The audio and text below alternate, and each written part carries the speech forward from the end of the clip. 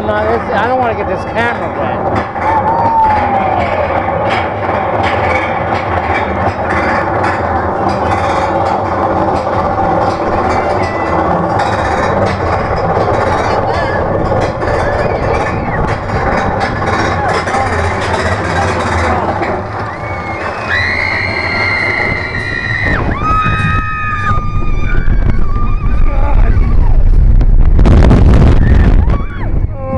April.